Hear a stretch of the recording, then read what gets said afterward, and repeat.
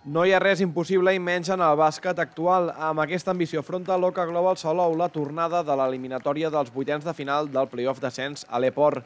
Davant el Ciudad de Huelva, el conjunt de Jesús Muñiz haurà de remuntar 21 punts de diferència després del 96 a 75 de l'anada. La plantilla ha fet net, no tira la tovallola i espera tenir les seves opcions.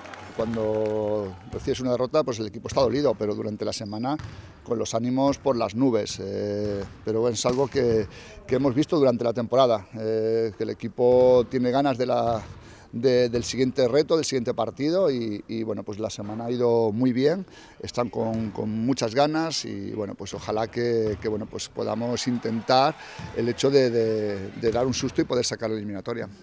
L'afició salauenca haurà de jugar un paper clau per esperonar els seus. Els de la Costa Daurada volen que el Ciudad de Huelva no estigui còmode sobre el parquet i que li puguin entrar els nervis. Caldrà controlar també el seu tir exterior. A l'anada, els andalusos van estar especialment encertats des de la línia de 3 amb 16 triples en 35 intents. Sabemos que partimos con una desventaja grande, sabemos de la dificultad que tiene, pero somos Salou y si algo nos caracteriza es que no bajamos los brazos. Un equipo piense que lleva una renta importante y, y, que, y que esa renta se pueda recortar, pues puede generar algún tipo de duda. ¿no?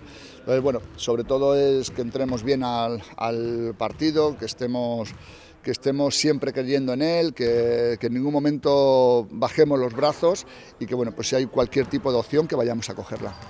Els de la capital de la Costa Daurada fan una crida a omplir el pavelló Salou Centre.